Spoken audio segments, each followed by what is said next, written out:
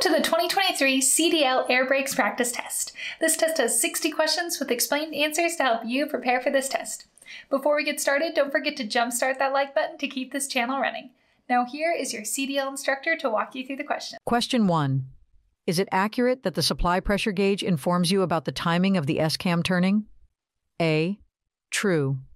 B. False. C. Only during cold weather. D only on steep descents. The correct answer is B. False. The supply pressure gauge in an air brake system does not provide information about the timing of the S-cam turning. The gauge displays the available air pressure for braking, which is essential for brake operation, but it does not indicate the timing of specific brake components such as the S-cam. Question 2. Is it accurate that brake fade exclusively occurs in drum brakes? A true, B, false, C, only during nighttime driving, D, only on vehicles with low tire pressure. The correct answer is B, false. While brake fade can indeed occur in drum brakes, it is not limited to this type of brake system. Brake fade can also affect other types of brakes, such as disc brakes, due to excessive heat buildup from prolonged and intense braking, leading to reduced braking efficiency. Question 3. Is it accurate that spring pressure is typically used to secure the emergency brake on a heavy vehicle due to the potential for air pressure leakage? A. True. B. False. C. Only during warm weather. D. Only on vehicles with hydraulic brakes. The correct answer is A. True. Spring pressure is commonly employed to hold the emergency brake in position on heavy vehicles since air pressure may dissipate over time, potentially affecting the brake's reliability. The spring-activated emergency brake provides an extra layer of safety by ensuring the brake's engagement even if air pressure is lost. Question 4. Is it accurate that certain vehicles feature an independent air tank that can be utilized to disengage the spring brakes? A. True. B. False. C. Only during nighttime driving. D. Only on vehicles with manual transmissions. The correct answer is A. True. Certain vehicles are equipped with an additional air tank that serves the purpose of releasing the spring brakes. This mechanism offers an alternative method for disengaging the spring brakes when necessary, contributing to braking flexibility and control. Question 5. Is it accurate that the dual air brake system comprises the primary and secondary systems? A. True. B. False. C. Only on vehicles with automatic transmissions. D. Only during wet road conditions. The correct answer is A. True. The dual air brake system consists of two interconnected systems, the primary and secondary systems. This arrangement enhances redundancy and ensures reliable braking performance, even if one of the systems encounters an issue. Question 6. Is it accurate that the spring brakes engage when there is a significant decrease in air pressure? A. True. B. False. C. Only during daytime hours. D. Only on vehicles with manual transmissions. The correct answer is A. True. Spring brakes are designed to activate when there is a substantial drop in air pressure, ensuring that the brakes engage automatically in the event of an air pressure loss, thus enhancing safety by preventing unintended movement of the vehicle. Question 7. Is it accurate that the parking brake should not be utilized when the brakes are extremely hot? A. True. B. False. C. Only on vehicles with automatic transmissions. D. Only during rainy weather. The correct answer is A. True. Applying the parking brake when the brakes are excessively hot can lead to brake damage, as it may cause uneven cooling and potential warping of brake components.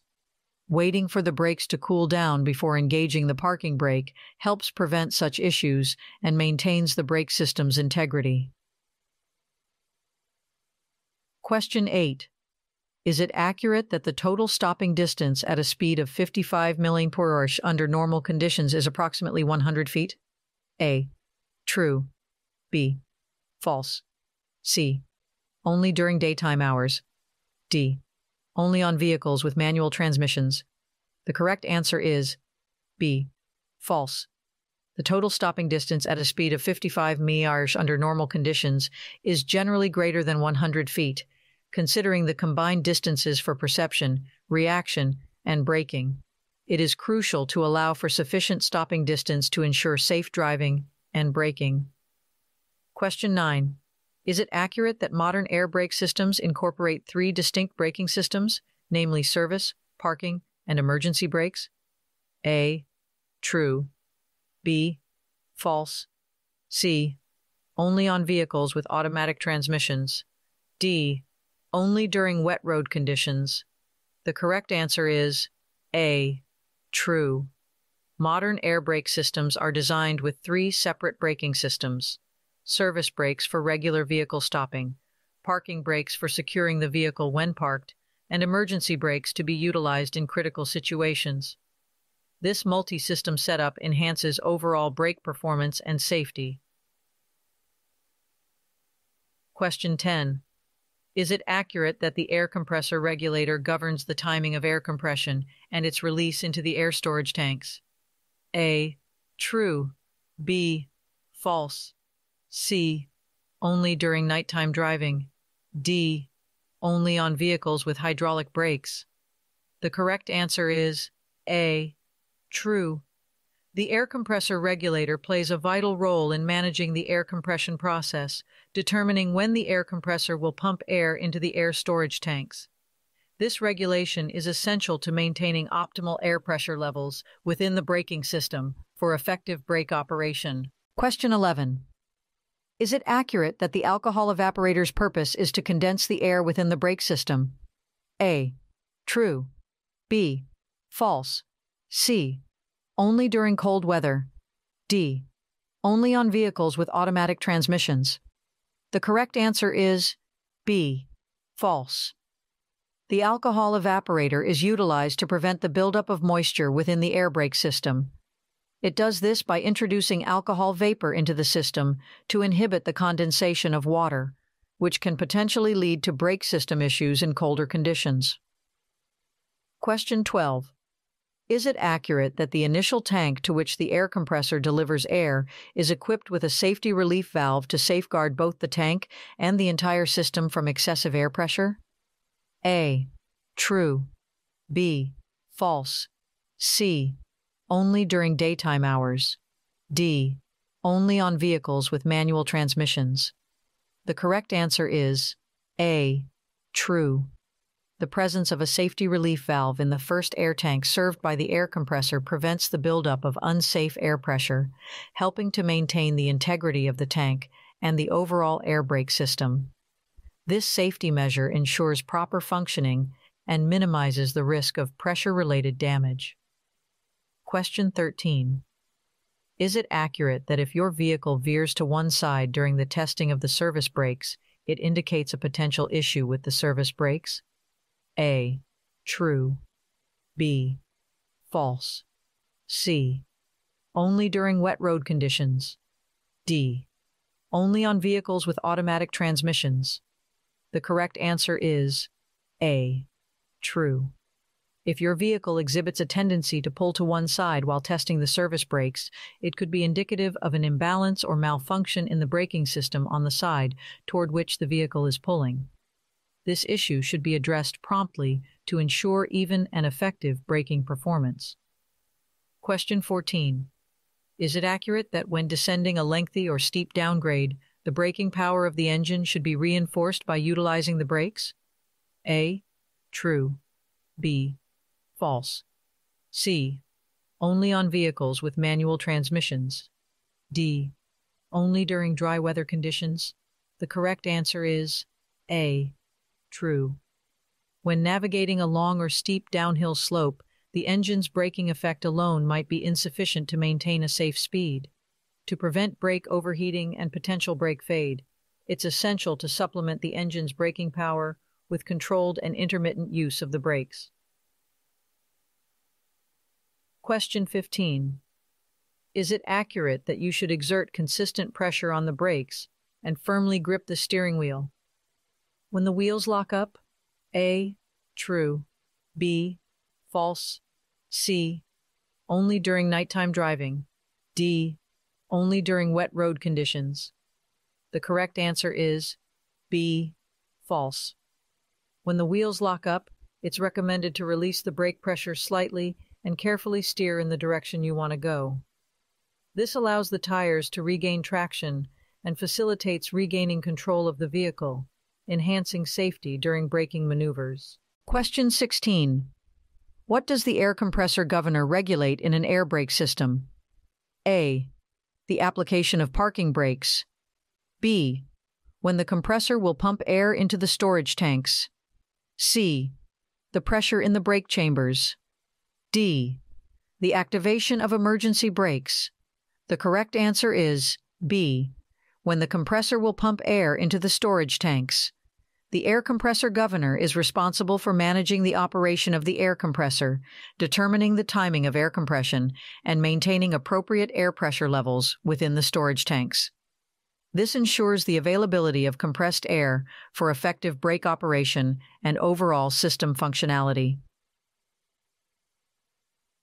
Question 17. In modern air brake systems, there are three distinct subsystems the service brake, the parking brake, and the A emergency brake, B, exhaust brake, C, hydraulic brake, D, engine brake. The correct answer is A, emergency brake. Modern air brake systems consist of the service brake for regular braking, the parking brake for securing the vehicle, and the emergency brake, which can be utilized in critical situations to ensure rapid and effective braking when needed. Question 18. In the event of a leak in the air compressor, what component ensures that air remains within the tank? A. Pressure relief valve. B. Regulator valve. C. Safety relief valve. D. The one way check valve. The correct answer is D. The one way check valve. The one way check valve prevents air from flowing back into the air compressor tank, maintaining air pressure within the system and helping to ensure proper brake operation. Question 19. What equipment is mandatory for vehicles equipped with air brakes? A. A tire pressure gauge to monitor tire conditions. B. An air pressure gauge to indicate the pressure available for braking. C. A fuel efficiency gauge to track fuel consumption. D. An engine temperature gauge to monitor engine health. The correct answer is B an air pressure gauge to indicate the pressure available for braking. Vehicles equipped with air brakes are required to have an air pressure gauge as part of their braking system. This gauge provides essential information about the air pressure available for effective brake operation, ensuring safe driving and braking performance. Question 20. What is the maximum allowable air leakage rate measured in psi for a straight truck or bus air brake system with the engine off and the brakes released? A. 2 psi. B. 1 psi. C. 3 psi. D. 4 psi. The correct answer is A. 2 psi. A straight truck or bus air brake system must not exceed a leakage rate of 2 psi per minute under specified conditions. This ensures the integrity of the braking system and maintains proper braking performance. Question 21. What typically restrains the parking and emergency brakes while driving under normal conditions? A. Hydraulic pressure. B. Spring tension. C. Cable tension. D. Air pressure. The correct answer is D. Air pressure. Parking and emergency brakes in air brake systems are commonly held back by air pressure. This pressure keeps the brakes disengaged during regular driving and only activates them when the air pressure is released, ensuring controlled braking when needed. Question 22. What steps should you follow to assess the free play in manual slack adjusters? A. Apply the parking brake, release the clutch, and shift to neutral. B. Park on a hill, engage the parking brake, and release the clutch. C. Park on level ground, chock the wheels, and release the parking brake. D. Depress the brake pedal while in motion and listen for any unusual sounds. The correct answer is C. Park on level ground, chock the wheels, and release the parking brake. To properly check the free play in manual slack adjusters, it's essential to park on level ground, secure the wheels with chocks to prevent movement, and release the parking brake. This allows for accurate assessment of brake adjustment and ensures optimal braking performance. Question 23. Who is authorized to evaluate the functionality of spring brakes? A. Any driver with air brake endorsement. B. Vehicle owners and operators. C. Mechanics certified in brake service. D. Can only be tested by highly trained brake service people. The correct answer is D can only be tested by highly trained brake service people. The assessment of spring brake effectiveness requires the expertise of highly trained brake service professionals. Due to the technical nature of these tests and the critical role of spring brakes in safe vehicle operation, only qualified personnel should conduct such evaluations. Question 24. What factor contributes to a longer total stopping distance for air brakes compared to hydraulic brakes? A. Brake fade. B. Brake lag. C. Brake responsiveness. D. Brake modulation. The correct answer is B. Brake lag. Brake lag, the delay between the time the brake pedal is pressed and the actual brake application, results in a longer total stopping distance for air brakes. This delay is due to the time required for compressed air to travel through the system and engage the brakes, impacting the overall braking performance. Question 25. What is the initial action to take upon the activation of a low pressure warning? A. Stop and safely park as soon as possible. B. Shift to a lower gear and continue driving. C. Increase speed and maintain driving. D. Ignore the warning and proceed cautiously. The correct answer is A. Stop and safely park as soon as possible. When the low pressure warning activates, it is crucial to promptly address the issue by stopping the vehicle and parking in a safe location. This helps prevent potential brake system failure and ensures the safety of both the driver and other road users. Question 26. Why does air braking generally require more time to engage compared to hydraulic braking? A. Utilize a higher brake fluid pressure. B. Require specialized brake fluid for optimal performance. C. Have smaller brake components.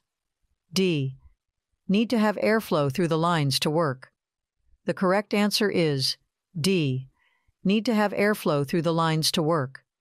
Air brakes necessitate the flow of air through the brake lines to enable brake activation. This requirement contributes to a slight delay in the braking process when compared to hydraulic systems, where brake fluid is immediately pressurized for faster response. Question 27. Why is it advised against using the fanning technique, repeated on off braking, during extended downhill descents, according to experts? A. Fanning can cause excessive wear on brake components. B. Fanning can lead to increased fuel consumption. C. The short time off the brakes does not allow the brakes to cool. D. Fanning can result in brake fade. The correct answer is C. The short time off the brakes does not allow the brakes to cool.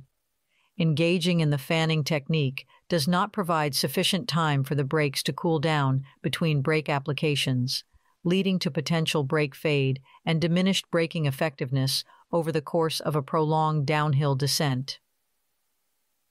Question 28. How often should you drain the air tanks if your vehicle lacks automatic tank drains, considering that the accumulation of oil and water in these tanks can lead to brake failure? Uh, every day, B monthly, once a week. D. Only when the air pressure drops significantly. The correct answer is A. Every day. To prevent brake failure caused by the buildup of oil and water in the air tanks, it is recommended to drain the tanks daily. This regular maintenance practice ensures the integrity of the brake system and helps maintain optimal braking performance. Question 29. What is the minimum air pressure threshold in the service air tanks at which a warning must be visible to the driver? A. 40 psi, B. 50 psi, C. 70 psi, D. 60 psi. The correct answer is D. 60 psi. The driver must have a clear warning indication when the air pressure in the service air tanks drops below 60 psi. This ensures that the driver is promptly informed of any decrease in air pressure, allowing for appropriate and timely action to address potential brake system issues. Question 30. At approximately what pressure does a safety relief valve in an air brake system typically open? A. 100 psi. B. 125 psi. C. 150 psi. D. 175 psi. The correct answer is C. 150 psi. A safety relief valve in an air brake system typically opens at around 150 psi to prevent excessive pressure buildup, ensuring the safety and proper operation of the braking system. Question 31. When certain brakes within the system are performing more labor than others, what outcome is likely to occur? A. The brakes will become less effective. B. Those brakes will develop more heat. C. The brakes will wear evenly. D the brakes will require less maintenance. The correct answer is B. Those brakes will develop more heat. In scenarios where specific brakes handle a heavier workload, like during downhill descents, increased friction will cause these brakes to generate more heat. This heightened heat production can lead to brake fade and decreased braking efficiency, making it crucial to monitor brake temperatures in such situations. Question 32.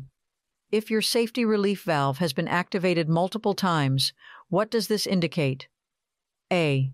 The system needs immediate attention. B. The air tanks are overfilled. C. Routine maintenance is required. D. The air compressor is functioning optimally. The correct answer is A. The system needs immediate attention. The repeated activation of the safety relief valve signifies that the air pressure in the system has exceeded safe limits multiple times. This situation necessitates prompt attention to diagnose and rectify the underlying issue to ensure the proper operation and safety of the air brake system. Question 33. At what minimum air pressure threshold is the activation of the low air warning alarm required? A. 60 psi, B. 50 psi, C.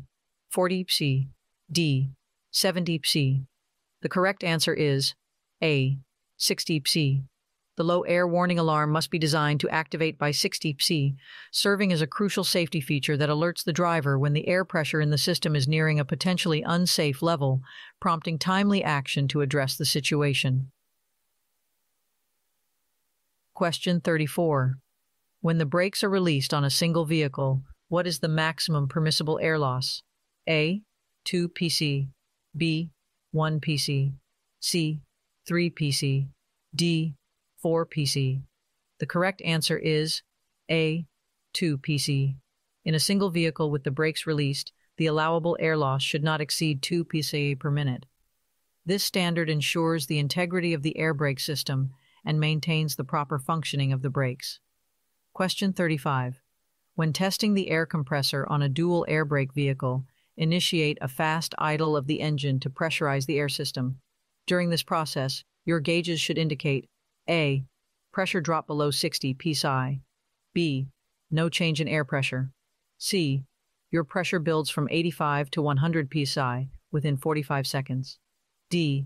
Slight air pressure increase. The correct answer is C your pressure builds from 85 to 100 psi within 45 seconds. Properly functioning air compressors in dual air brake systems should rapidly elevate air pressure from 85 to 100 psi within 45 seconds during the testing procedure, ensuring reliable brake performance and system integrity. Question 36. Spring brakes are activated by what alternative method other than air, electrical, or hydraulic systems? A. Mechanical linkage. B. Vacuum pressure. C. Pneumatic pressure. D. Manual lever. The correct answer is A. Mechanical linkage. Spring brakes engage through mechanical linkage, which is a fail-safe mechanism that operates independently of air, electrical, or hydraulic systems. This ensures the ability to apply the brakes even if the primary systems fail. Question 37. In the context of air brakes on most large vehicles, spring brakes blank. A. Increase air pressure during braking. B. Are part of both the parking and emergency brakes. C assist in gear shifting. D. Enhance engine performance. The correct answer is B. Are part of both the parking and emergency brakes. Spring brakes serve a dual purpose as they play a crucial role in both the parking and emergency brake systems of most large vehicles with air brakes, ensuring reliable safety measures in both scenarios. Question 38.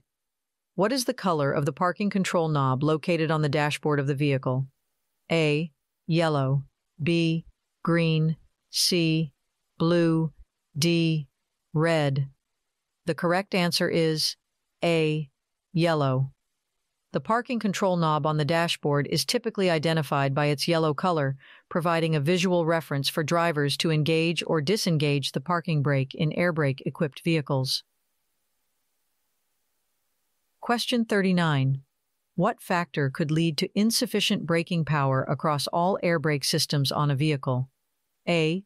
Low air pressure. B. Brakes being out of adjustment. C. Malfunctioning compressor. D. Damaged brake lines. The correct answer is B. Brakes being out of adjustment. If the brakes are out of proper adjustment, it can result in reduced braking power across all air brake systems on the vehicle, impacting overall braking efficiency and safety. Question 40. In the event of a low air pressure warning, what action should you take as a driver? A. Continue driving cautiously. B. Speed up to reach your destination faster. C. Ignore the warning and proceed. D pull off the road as soon as it is safe to do so? The correct answer is D. Pull off the road as soon as it is safe to do so. When the low air pressure warning activates, it signals a potentially unsafe condition. To address this, it is crucial to promptly pull off the road when it is safe, allowing you to assess and rectify the situation before continuing your journey. Question 41. What is the typical setting for the cut-in pressure in PSI? A, 80, B, 90, C, 100, D, 110. The correct answer is C, 100. The cut-in pressure, commonly set at 100 psi, refers to the minimum air pressure level at which the air compressor begins to refill the air tanks, ensuring optimal brake system functionality and safety. Question 42. At what frequency should you perform the task of draining your air tanks? A. Weekly. B. Daily. C. After every trip. D. Monthly. The correct answer is B. Daily. To prevent the accumulation of moisture and contaminants, it is advisable to drain your air tanks on a daily basis, ensuring the proper functioning of your air brake system and maintaining optimal safety. Question 43. Among the options provided, which one does not fall within the category of an air brake subsystem? A. Service brake system. B. Parking brake system. C. Emergency brake system. D. Spring brake system. The correct answer is D. Spring brake system. While the service brake, parking brake, and emergency brake systems are integral components of the air brake setup, the spring brake system is not considered a separate air brake subsystem. Rather, it operates in conjunction with the parking brake system to provide an additional layer of safety. Question 44. What term refers to a wigwag? A. A mechanical arm that signals low air pressure. B. A type of air brake valve. C. An air compressor governor. D. A pressure regulator for the air tanks. The correct answer is A. A mechanical arm that signals low air pressure. A wigwag is a mechanical arm that serves as an indicator, signaling low air pressure within the air brake system, alerting drivers to address potential issues before they impact braking performance. Question 45. What PSI value is typically established as the cutout pressure? A. 80. B. 125. C. 100. D. 150. The correct answer is B. 125.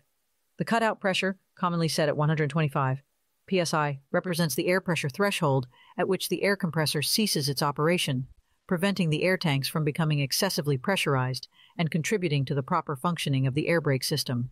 Question 46. Front brake limiting valves are typically present in which category of vehicles? A. Modern trucks and buses. B. Vehicles manufactured after 1975. C. Older vehicles made before 1975. D. High speed commercial vehicles. The correct answer is C. Older vehicles made before 1975. Front brake limiting valves are commonly found in older vehicles produced before 1975, serving to limit the application of front brakes and enhance overall braking performance. Question 47. In order to mitigate the potential formation of ice, certain air brake systems incorporate a. An alcohol evaporator. B. A pressure regulator valve. C. A manual drain valve. D. An auxiliary air tank. The correct answer is A. An alcohol evaporator. An alcohol evaporator is integrated into air brake systems to help prevent the accumulation of ice within the system by introducing alcohol vapor, which lowers the freezing point of any condensation that may form. Question 48. At a speed of 55 mph, the brake lag, associated with air brake vehicles, can extend your total stopping distance by approximately A. 10 feet, B. 20 feet, C. 32 feet, D. 50 feet. The correct answer is C. 32 feet.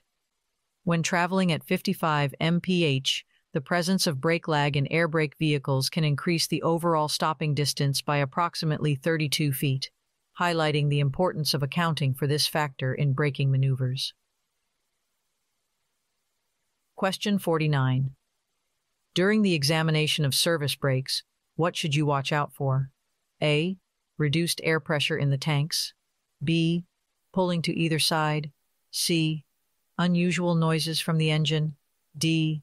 The air compressor cycling frequently. The correct answer is B. Pulling to either side.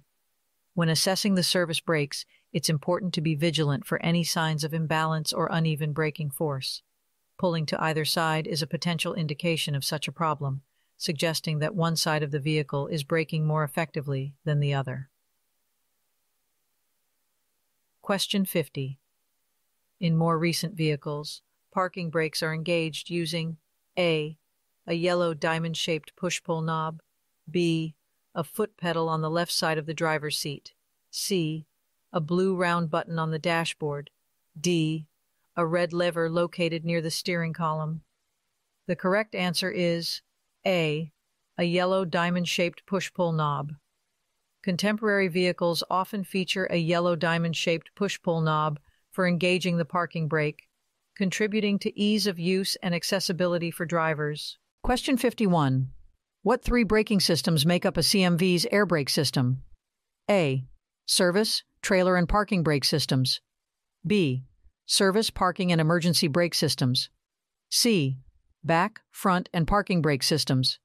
D. Trailer, front, and back brake systems. The correct answer is B. Service, parking, and emergency brake systems. Service, parking, and emergency brake systems. The parking brake system applies and releases the parking brakes when you use the parking brake control. The service brake system applies and releases the brakes when you use the brake pedal during normal driving. The emergency brake system uses parts of the service and parking brake systems to stop the CMV in case of a brake system failure. Question 52. How much following distance does a 60 FT truck traveling under 40 mph need? A. 10 seconds. B. 6 seconds. C. 4 seconds. D. 9 seconds. The correct answer is B. 6 seconds. For timed intervals, following distance, use the following heavy vehicle formula. 1 second required for each 10 feet of vehicle length at speeds under 40 mph. Above 40 mph, use the same formula, then add 1 second for the additional speed. Question 53. What are spring brakes? A. Brakes used for emergency and parking brake systems. B. Powerful springs held back by air pressure. When air is released, the springs allow for braking. C. Brakes that will come on fully when air pressure drops below 20 to 45 psi. D. All of the above. The correct answer is D. All of the above. All trucks, truck tractors, and buses must be equipped with emergency brakes and parking brakes. Spring brakes are usually used to meet this requirement. Question 54. How do you know if your vehicle is equipped with anti-lock brakes? A. A yellow-colored lamp with the letters ABS will be located on the vehicle's instrument panel when the vehicle is turned on. B. There's no need to know. C. The CMV will brake faster than usual. D. None of the above. The correct answer is A. A yellow-colored lamp with the letters ABS will be located on the vehicle's instrument panel when the vehicle is turned on. Your CMV will have a ABS malfunction warning light that will illuminate when the vehicle is first turned to the on position.